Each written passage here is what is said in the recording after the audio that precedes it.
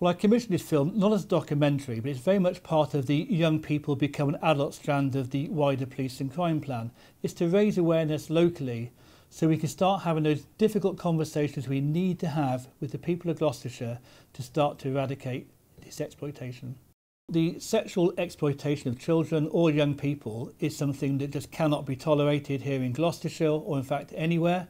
We need to first of all confront it and take action to tackle it.